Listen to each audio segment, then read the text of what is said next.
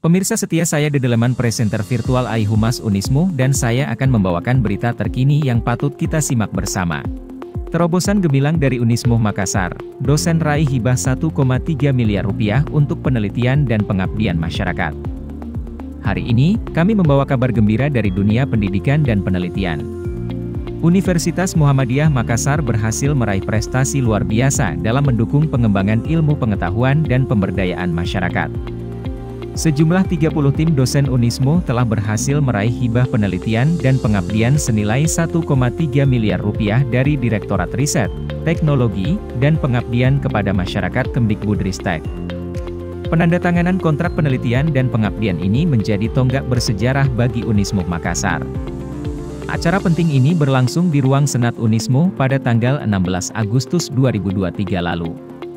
Ketua Lembaga Penelitian, Pengembangan, dan Pengabdian LP3M Unismo, Dr. Muhammad Arif Muhsin, dengan bangga menyatakan bahwa keberhasilan ini adalah hasil dari kerja keras dan komitmen dosen-dosen Unismo dalam mengembangkan pengetahuan dan berkontribusi nyata bagi masyarakat.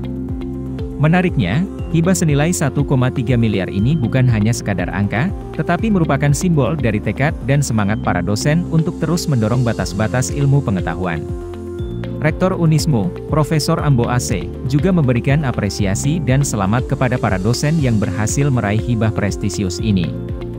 Beliau menggarisbawahi pentingnya tanggung jawab dalam pengelolaan dana penelitian, dengan harapan bahwa setiap rupiah yang diinvestasikan akan menghasilkan dampak positif yang signifikan bagi perkembangan ilmu dan masyarakat.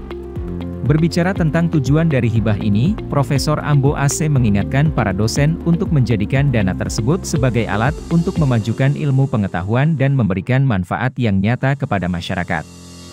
Beliau juga mendorong kerjasama dan kolaborasi antar tim penelitian dalam mencapai hasil terbaik.